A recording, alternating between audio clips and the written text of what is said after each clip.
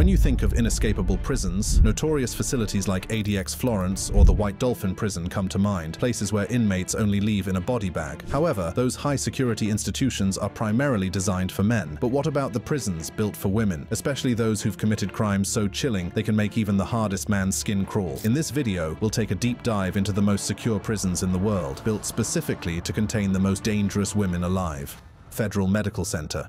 Federal Medical Center, Carswell, one of the toughest federal prisons in the United States. Located in Fort Worth, Texas, this facility is notorious for its stringent security measures and the high-profile inmates it contains. From infamous criminals to shocking incidents, FMC Carswell is a place where the harsh realities of prison life are laid bare. One of the unique aspects of FMC Carswell is its administrative high-security unit. This unit is designated for women in the BOP system who are classified as special management concerns due to violence or escape attempts. The unit has a capacity of 20 women, and as of July 2018, there were 10 women confined in this unit. The prison has seen its share of high-profile inmates, which has contributed to its notoriety. One of the most infamous inmates was Lisa Marie Montgomery, the last woman under a federal death sentence. Montgomery was convicted of the gruesome murder of a young pregnant woman, Bobbie Jo Stinnett, in 2004. She cut the unborn fetus from Stinnett's womb and attempted to pass the baby off as her own. Montgomery was executed in January 2020 2021 after a series of legal battles and delays due to her attorneys contracting COVID-19. Another notable inmate was Angela Johnson, who was convicted for her role in aiding her then-boyfriend Dustin Honken in committing four drug-related homicides. Johnson was initially sentenced to death in 2005, but her sentence was commuted to life in prison in 2014. Honken, on the other hand, was executed in July 2020. The facility's history is also marked by numerous allegations of abuse, medical malpractice, and neglect. Over a seven-year period, period, seven staff members were convicted of sexual abuse of inmates. One of the most shocking cases involved correction officer Michael Lawrence Miller, who raped a prisoner in March 2000. The prisoner did not report the incident immediately, but kept a pair of sweatpants as evidence. Miller was convicted and sentenced to 12 years and 6 months in prison in 2004. If you think this is crazy, then you have not seen anything yet. Our next prison is so tough, a woman was paralyzed for life after a confrontation with the guard. Lowell Correctional Institution. Established in 1956, Lowell Correctional Institution is one of the oldest and largest women's prisons in the United States. Located in Ocala, Florida, it has the capacity to house up to 3,000 women, including pregnant inmates. Over the decades, Lowell has gained a notorious reputation for its harsh conditions, systemic abuse, and neglect. Lowell is a place where you are stripped of your humanity. The conditions are deplorable, and the guards treat you like you're less than human. It's a constant struggle to survive. Over the years, numerous incidents of abuse and neglect have come to light, but it was the brutal beating of Cheryl Weimar in 2019 that truly shocked the nation. Cheryl, who was serving time for a non-violent offense, became the face of the horrors within Lowell's walls. On August 21, 2019, Cheryl Weimar was brutally attacked by prison guards. The assault was so severe that it left her quadriplegic, unable to move from the neck down. According to reports, Cheryl was targeted after she complained of severe pain and requested medical attention. Instead of receiving the care she desperately needed, she was met with violence. The incident sparked outrage and led to a lawsuit against the Florida Department of Corrections. The lawsuit revealed a pattern of abuse and neglect at Lowell, painting a grim picture of life inside the prison. Cheryl's case was not an isolated incident, but part of a broader culture of violence and mistreatment. In December 2019, a Department of Justice report found that the Florida Department of Corrections had been aware of ongoing sexual abuse at Lowell for over a decade, but failed to take action. The report highlighted a culture of impunity where guards could abuse inmates without fear of repercussions. The findings were a damning indictment of the prison system and called for immediate reforms. Now, while this prison is known for being ruthless, I mean, they paralyzed someone for life, the next prison on our list has featured a few deaths. HM, Prison Bronzefield. HM. Prison Bronzefield, located on the outskirts of Ashford in Surrey, England, stands as the largest women's prison in Europe. Its history is as complex as the lives of the women it houses. The site where Bronzefield now stands has a long and varied past, beginning as the West London District School in September 1872. This residential school was established for the education of orphans and came under the control of the London County Council in April 1930. By 1931, the school provided residential accommodation for 640 children children from the County of London. However, by the time of its closure in 1955, the number of children had dwindled to just 40. In 1961, the site was repurposed as the Ashford Remand Centre, a detention facility for boys aged 14 to 21. The Remand Centre quickly gained a notorious reputation for its decrepit state and the violence that occurred within its walls. Despite its infamy, the centre continued to operate until 1988 when it was closed down. However, due to overcrowding issues in other facilities, it was briefly reopened before its final closure in 1990. Following this, the buildings were demolished, making way for the construction of Bronzefield Prison. Bronzefield opened its doors in June 2004 as the UK's new top security prison for women. Managed by Sodexo Justice Services, it is the only purpose-built private prison solely for women in the UK. Since its opening, Bronzefield has been the subject of media scrutiny for various reasons, including its supposedly lax regime, high staff turnover, and extremely poor industrial relations. Despite these challenges, the prison has continued to operate and even expanded its capacity. Bronzefield has also seen several deaths in custody. Natasha Chin died in 2016, less than two days after arriving at the prison. She had vomited continuously for nine hours and was not given medical attention or her prescribed medication. Expert medical witnesses told a coroner's inquest that if Chin's condition had been monitored and dealt with satisfactorily, she would likely have survived. The inquest jury found her death was due to a systemic failure, which led to a lack of basic care, and her death was contributed to by neglect. In October 2019, a newborn baby died after an 18-year-old mother gave birth alone in her cell without medical supervision or help. This case raised serious questions about how the woman came to be unsupervised and without medical support during her labor and birth. 10 or 11 different inquiries have been launched into the baby's death, drawing attention to the care of pregnant prisoners at Bronzefield. While there have been no high-profile names here, the next prison has seen the worst of the worst women in British crime history. HMP Lowton, HMP Low Newton, located in Brasside, County Durham, England, has a history as dark and complex as the inmates it houses. Originally constructed in 1965 as a mixed remand centre, it was designed to accommodate 65 males and 11 females. Over the years, the prison expanded, and by 1975, its capacity increased to 215. However, overcrowding was a persistent issue, reflecting the growing demand for prison space in the region. In 1998, HMP Low Newton underwent a significant transformation. The prison was redesignated as an all-female facility, taking in female prisoners from across the north of England. This re-roll refurbishment marked the beginning of its reputation as one of the toughest female prisons in the United Kingdom. Today, Low Newton serves as a maximum security prison and young offender institution, holding a small number of juveniles and life-sentence prisoners. One of the most notorious inmates to have been held at HMP Low Newton is Rosemary West. Convicted of 10 murders alongside her husband Fred West, Rosemary's crimes shocked the nation. The couple's house in Gloucester, known as the House of Horrors, was the site of their gruesome acts. Rosemary was sentenced to life imprisonment in 1995 and was initially held at HMP Durham before being transferred to Low Newton. Her presence in the prison added to its already fearsome reputation. Another infamous inmate is Joanna Dennehy, a serial killer convicted of murdering three men and attempting to murder two others in 2013. Dennehy's crimes were particularly brutal and she showed no remorse for her actions. Her time at Low Newton has been marked by further violent incidents, including an attack on another inmate. Dennehy's chilling demeanor and lack of empathy make her one of the most dangerous women ever to be held at the prison. Lucy Letby, a former NHS nurse, is another high-profile inmate. At Low Newton, Letby was convicted of murdering numerous babies in her care, making her one of the most reviled figures in recent history. Her crimes were committed at the Countess of Chester Hospital, where she worked in the neonatal unit. The details of her actions are harrowing, and her presence at Low Newton only adds to the prison's notoriety. The next prison also has featured some of the worst women in California. California Institution for Women.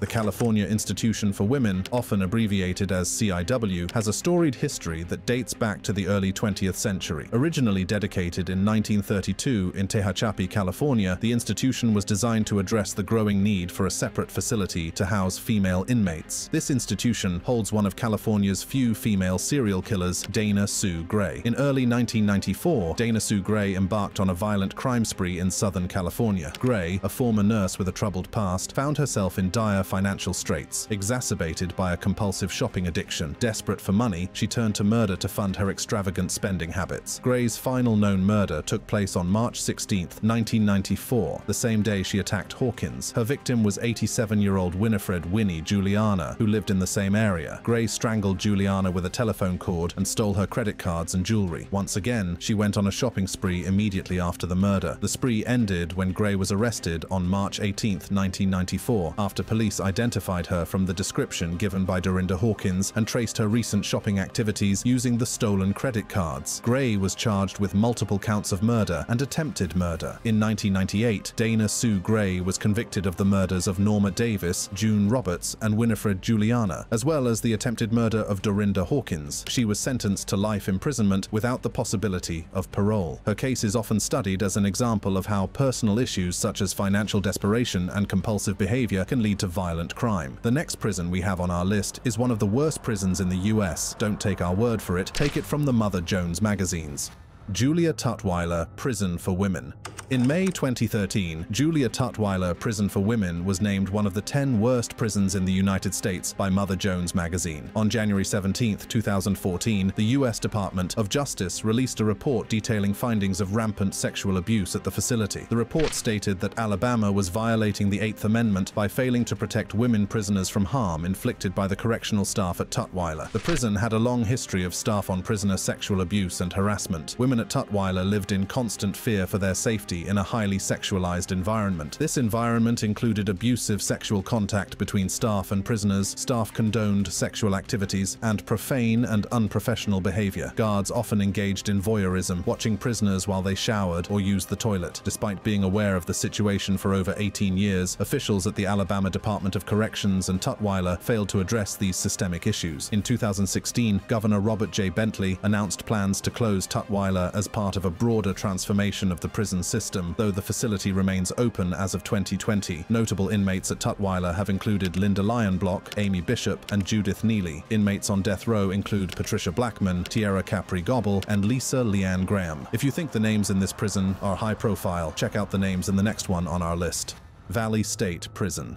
In October 1999, Valley State Prison for Women gained national attention when journalist Ted Koppel featured it in a Nightline series. The episodes exposed alarming medical practices at the prison. Dr. Anthony D. Domenico, the chief medical officer, made a controversial statement suggesting that female inmates were seeking pelvic examinations for male contact. This comment led to his reassignment to a desk job in Sacramento, yet the prison's reputation suffered a significant blow due to the scandal. Valley State Prison for Women housed several notorious inmates. Larissa Schuster was sentenced to life without parole for murdering her husband by submerging his body in hydrochloric acid. Julia Rodriguez Diaz became the first female inmate to receive a 15-year parole denial under Proposition 9, Marsy's Law, for the murder of seven-year-old Javier Angel in July 1979. Her story was featured in the 2013 Deadly Women episode Heartless Souls. In 2014, she was moved to the California Institution for Women. Diane Downs, convicted in Oregon for shooting her three children, also spent time at Valley State Prison for Women. The facility's history of housing high-profile inmates, along with the medical practice controversy, has kept it in the public eye. The next prison on our list is also notorious for holding some horrible women.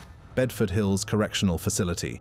Bedford Hills Correctional Facility for Women, located in Westchester County, New York, is the state's only maximum security prison for women. It has gained notoriety for housing some of the most infamous female criminals in the United States. The prison's notable inmates have included Jean Harris, who was convicted in 1981 for the murder of Dr. Herman Tarnower, the creator of the Scarsdale Diet. Her trial attracted significant media attention, highlighting issues of domestic abuse and mental health. Pamela Smart, another high-profile inmate, was convicted in 1991 of conspiring to murder her husband, Greg Smart, with the help of her teenage lover and his friends. Her case became one of the first highly publicized trials in the age of 24-hour news and inspired numerous books, movies, and television shows. Amy Fisher, dubbed the Long Island Lolita, was imprisoned at Bedford Hills for shooting Mary Jo Buttafuoco, the wife of her lover, Joey Buttafuoco, in 1992. Fisher's crime and subsequent trial captivated the nation, resulting in widespread media coverage. Mountjoy Women's Prison.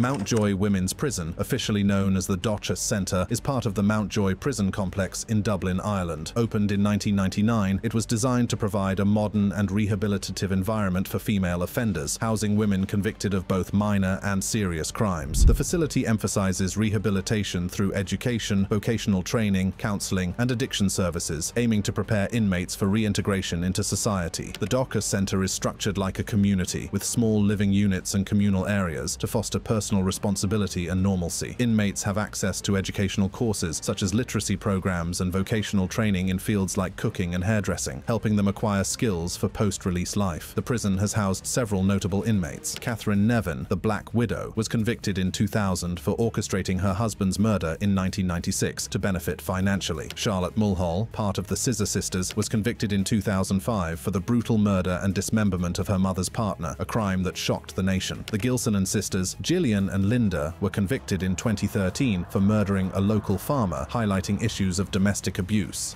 Lo Wu Correctional Institution Lo Wu Correctional Institution is a medium-security prison for female offenders located in the New Territories of Hong Kong. Opened in 2010, it was designed to alleviate overcrowding in Hong Kong's correctional facilities and provide a more modern environment for the rehabilitation of inmates. The institution is part of the larger Lo Wu Correctional Complex, which includes multiple facilities. Lo Wu is equipped to accommodate approximately 1,400 prisoners, making it one of the largest women's prisons in Hong Kong. The facility aims to provide a secure and humane environment for its inmates, focusing on rehabilitation and reintegration into society. Lo Wu Correctional Institution offers a range of programs designed to aid in the rehabilitation process. These include educational courses, vocational training, and counseling services. Inmates can participate in classes that cover various subjects, including language, computer skills, and arts and crafts. Vocational training programs are available in areas such as hairdressing, catering, and laundry services, helping to equip inmates with practical skills skills for life after release. The facility's design emphasizes openness and natural light, aiming to create a less oppressive atmosphere. Inmates have access to recreational facilities, including sports fields and exercise areas, which contribute to their physical and mental well-being. Security at Lo Wu is maintained through a combination of surveillance technology and trained correctional officers, ensuring the safety of both inmates and staff. The institution also works closely with community organizations and government agencies to provide support for inmates upon their release, helping helping to reduce recidivism rates and promote successful reintegration into society.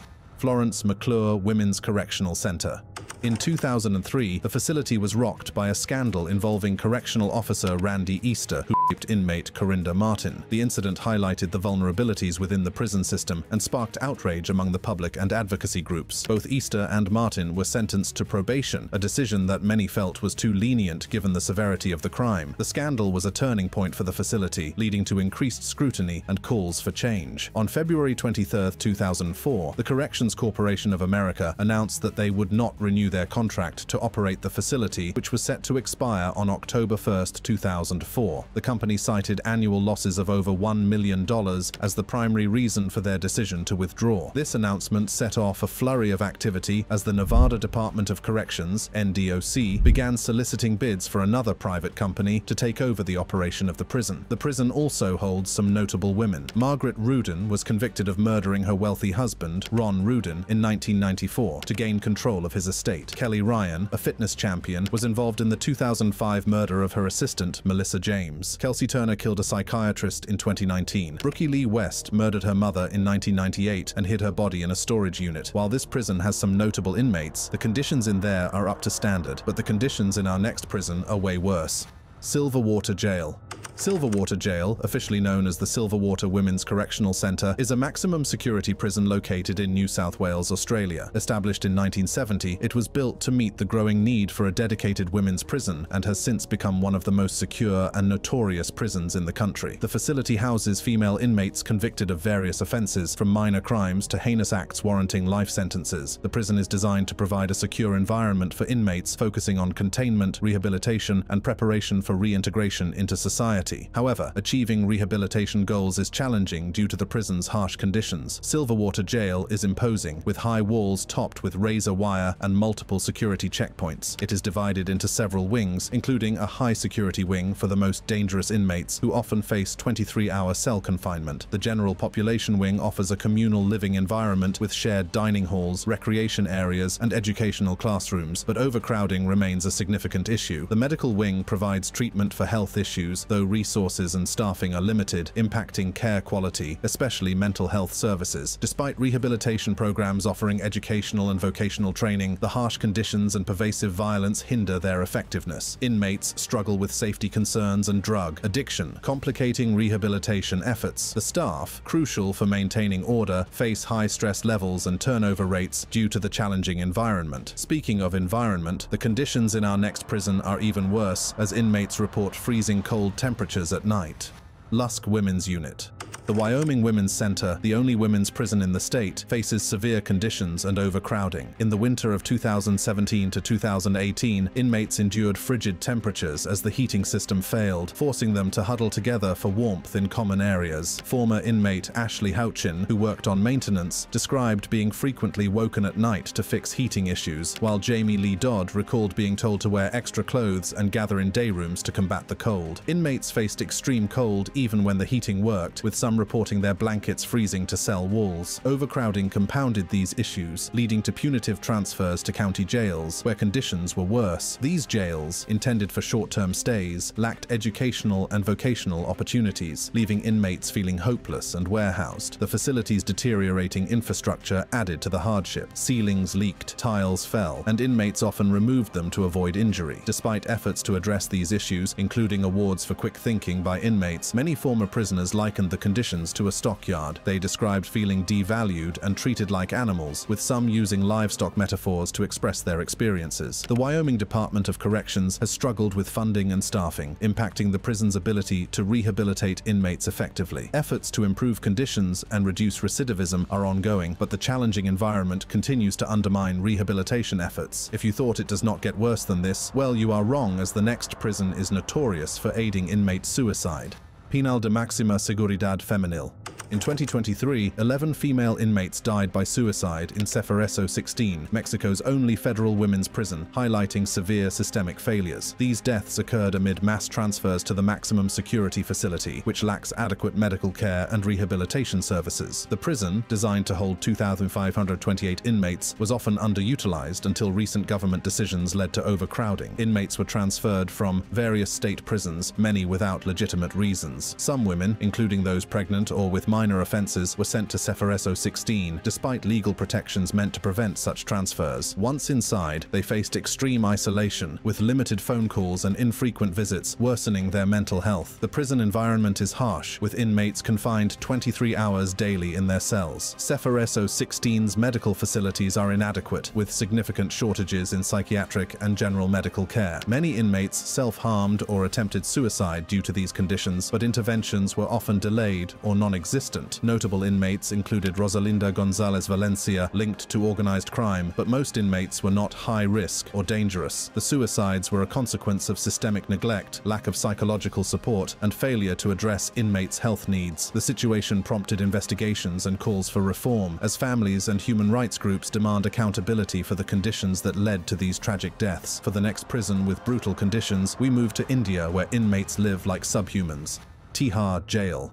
Tihar Jail, located in New Delhi, is known for being one of the largest and most notorious prison complexes in Asia. Despite efforts to provide rehabilitation programs, the conditions within Tihar can be extremely challenging, particularly in the women's section. Overcrowding is a significant issue, with the number of inmates often exceeding the prison's capacity. This leads to cramped living conditions, with multiple inmates sharing small cells designed for fewer people. The overcrowding exacerbates tensions and can lead to conflicts among inmates. The prison environment is strict and heavily regulated, with a rigid schedule governing inmates' daily activities. Inmates have limited personal freedom and are subject to constant surveillance, contributing to a sense of confinement and stress. The facilities, while aimed at rehabilitation, often struggle to meet the needs of the large inmate population due to limited resources and staff shortages. Access to healthcare, while available, is often inadequate, with long waiting times for medical attention. Mental health support is also limited, despite the high prevalence of psychological issues among inmates. The pressure of prison life, combined with the lack of sufficient mental health services, can lead to deterioration in inmates' well-being.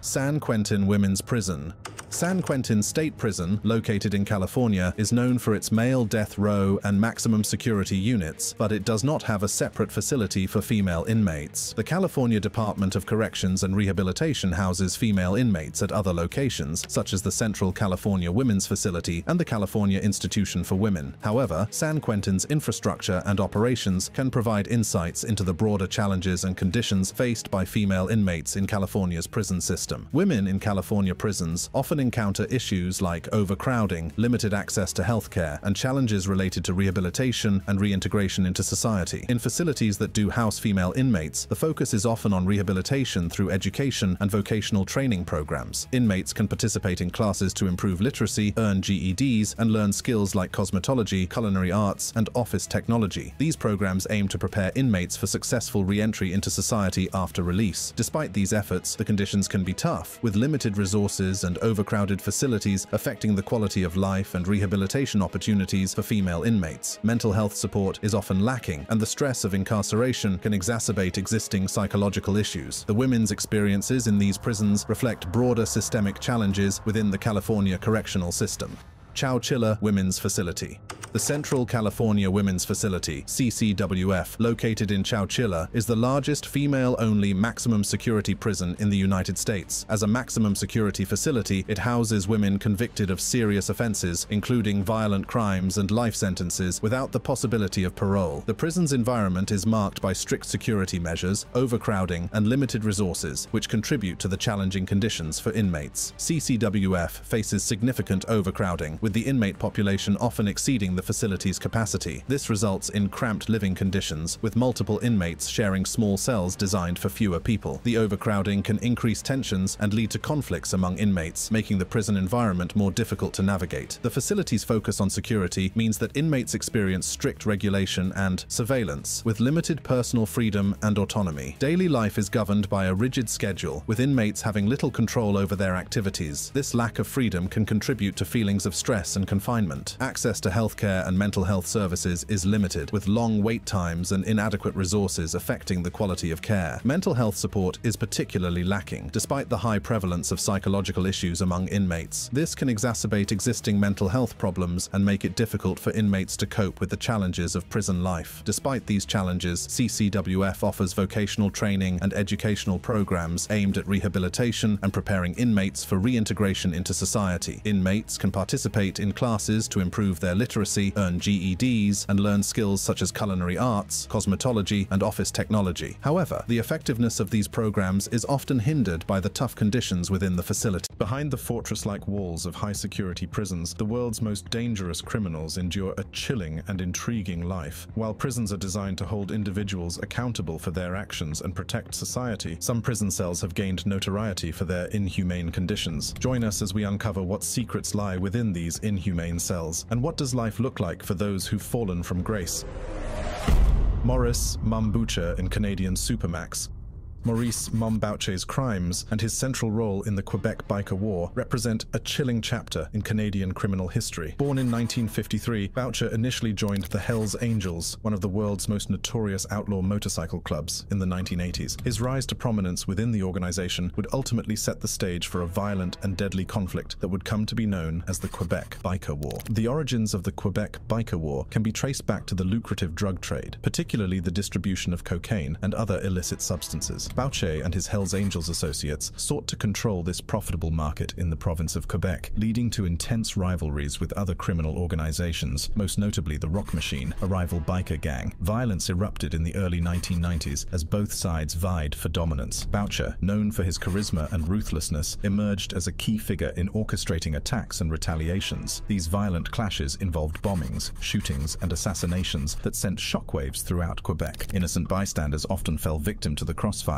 and the death toll climbed steadily. One of the most infamous incidents during the Quebec Biker War was the 1995 assassination of Daniel Desrochers, a correctional officer targeted for his alleged cooperation with authorities. This brazen act of violence further intensified the conflict and drew national attention to the growing menace of the warring biker gangs. As the violence escalated, law enforcement agencies launched extensive investigations to dismantle the criminal networks involved. Boucher was eventually arrested and faced many charges, including multiple counts of murder, drug trafficking, and conspiracy. In 2002, he was convicted of first-degree murder for his role in the deaths of two correctional officers during the conflict. Maurice Mom Boucher's imprisonment in the Canadian Supermax responded to his reign of terror and the need to neutralize his influence within the criminal underworld. Maurice Mom Boucher's life in the Canadian Supermax starkly contrasts the freedom and power he once enjoyed as a prominent figure in the Quebec biker underworld. The Canadian Supermax is a maximum security facility that houses the country's most dangerous and high-profile criminals. Boucher's incarceration reflects the gravity of his crimes and the threat he poses to society. Inside the Canadian Supermax, Boucher leads a highly disciplined and controlled existence. Strict security measures and isolation from the general inmate population characterize his daily routine. He spends much of his time confined to a small, windowless cell with limited opportunities for social interaction or outdoor activities. Surveillance cameras monitor his every move, ensuring he poses no threat to others or attempts to orchestrate criminal activities within the prison walls. Inmates in the Supermax have restricted access to privileges and amenities available in other correctional facilities. Boucher's ability to communicate with the outside world is heavily monitored and restricted, making it challenging to maintain contact with his former criminal associates or exert influence beyond the prison's confines. Additionally, the staff at the Canadian Supermax are highly trained and vigilant, ensuring that Boucher and other inmates are under constant supervision. This level of security is crucial to preventing escapes, maintaining order, and safeguarding the lives of inmates and prison personnel. The bazooka attack on Maurice Mum Is one of Canadian criminal history's most audacious and sensational incidents. It highlights the extent of Boucher's influence and the desperation of his associates and underscores the challenges authorities face in containing his criminal network. In 1997, Boucher was serving time at the Archambault Institution in Sainte-Anne-des-Plaines, Quebec, when a group of his loyal followers hatched a daring plan to liberate him from the confines of the prison. To execute this audacious jailbreak, they resorted to using a bazooka, a weapon generally associated with military combat rather than criminal activities. The daring attack involved firing a bazooka at the prison's fortified walls to breach its defenses and free Boucher. This extraordinary act of violence and the required level of planning left law enforcement and the public astounded. It showcased the lengths Boucher's criminal associates were willing to go in their determination to secure his release and perpetuate their criminal enterprises. Fortunately for the authorities, the attack did not succeed in freeing Boucher. The prison's robust security measures and swift law enforcement response prevented significant breaches. Nevertheless, the incident served as a stark reminder of the pervasive reach of organized crime and the dangerous capabilities of Boucher's network. In the aftermath of the failed bazooka attack, security around Boucher was further intensified. His incarceration became even more stringent, with heightened surveillance and isolation measures to mitigate future attempts at escape or acts of violence. The bazooka attack on Maurice Boucher remains a memorable episode in the annals of Canadian criminal history, a testament to the audacity of organized crime and a chilling reminder of the lengths to which criminals will go to protect their interests and their leaders, even behind the seemingly impenetrable walls of a maximum security prison. Richard Huckle in Full Sutton.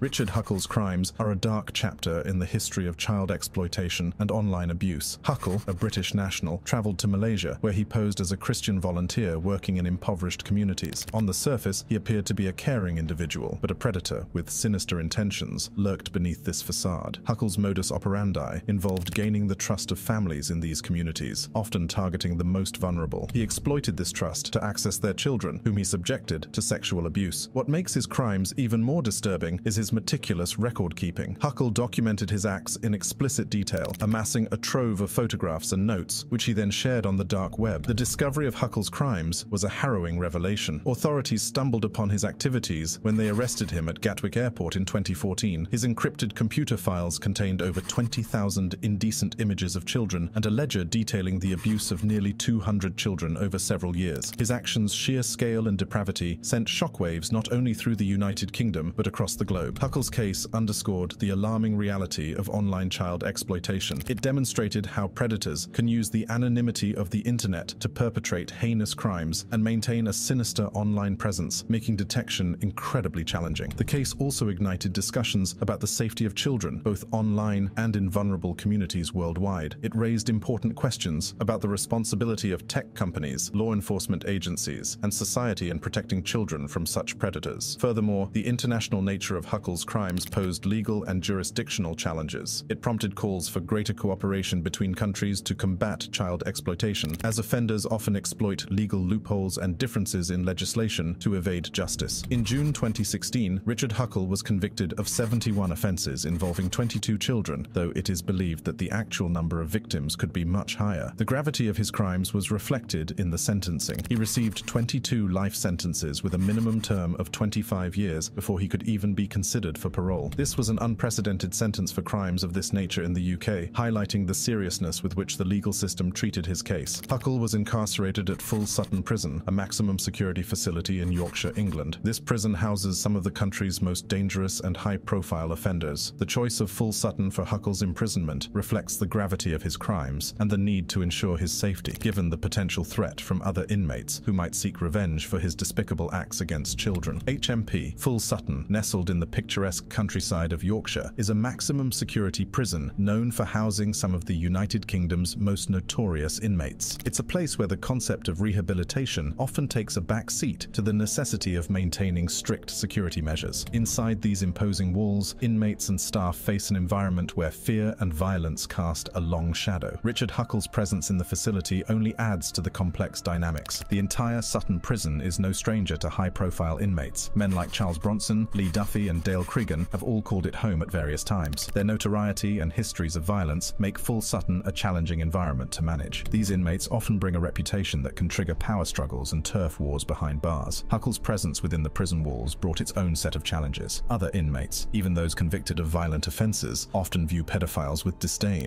and prison authorities had to ensure Huckle's safety while maintaining order. Given the nature of his crimes, Huckle would likely have been kept in protective custody or some form of segregation to ensure his safety. Inmates with child exploitation or abuse charges often face threats or violence from other prisoners who seek to harm them. This isolation, while meant to protect Huckle, could also have had detrimental effects on his mental well-being due to prolonged periods of isolation. Strict security measures govern life inside Full Sutton. High walls, razor wire, and advanced surveillance systems are the physical barriers to escape, but the social dynamics often prove most challenging. Inmates here are frequently subjected to stringent routines, limited privileges, and a lack of personal space. This can create an atmosphere ripe for tension and conflict. Reports of violence within Full Sutton Prison have increased, prompting concern among inmates and staff. It's an environment where even correctional officers have sometimes admitted to fearing for their lives. The tensions among inmates, exacerbated by the presence of high-profile offenders, have led to clashes, gang affiliations, and territorial disputes. Liam Dean in HMP Leeds.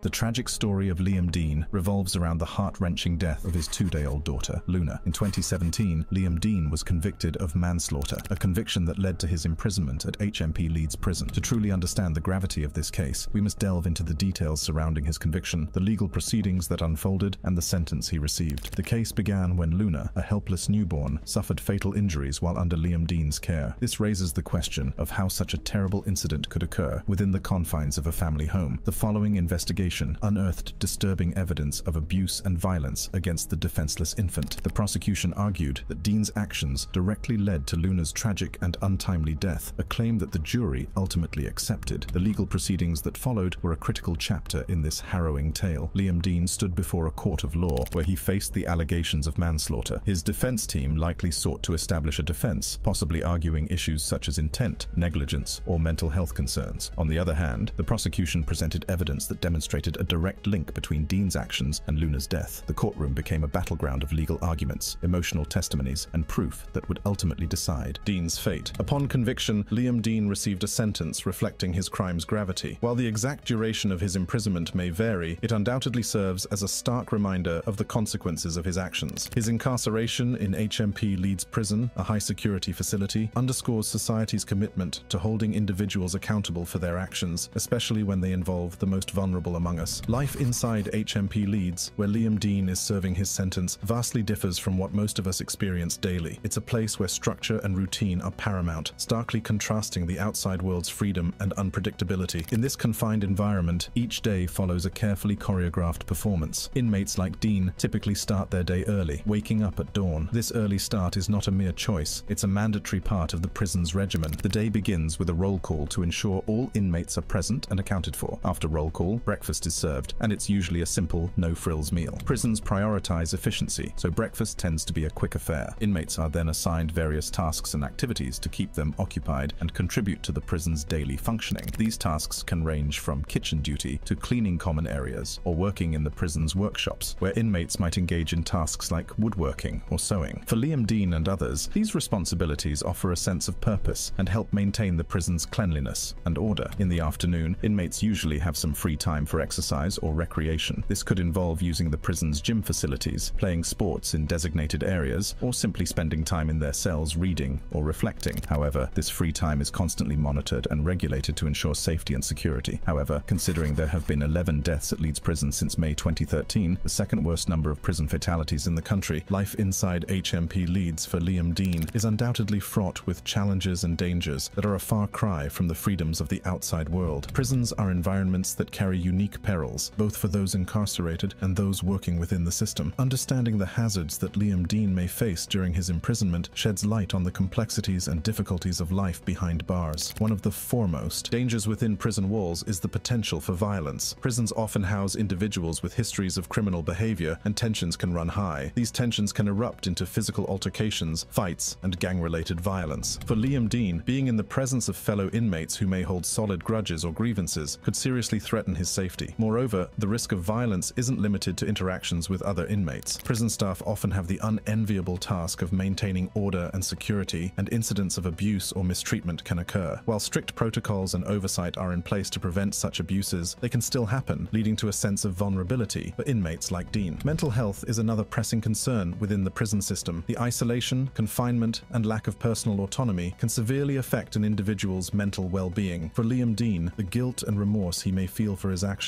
combined with the isolation from his family and society, can contribute to depression and anxiety. Access to mental health support in prison can be limited, making it difficult for inmates to cope with the emotional challenges they face. Additionally, the potential for contraband and substance abuse is a looming threat. Prisons often struggle to prevent the smuggling of drugs, weapons, and other prohibited items. Inmates may be coerced into illicit activities, leading to further complications and risks, including disciplinary actions. The overall living conditions in prisons like HMP Leeds can also be hazardous. Overcrowding, inadequate healthcare, and limited access to education or vocational training can create an environment that fosters frustration and despair, potentially leading to unrest among the inmate population. Click on the card showing on your screen for more interesting videos like this.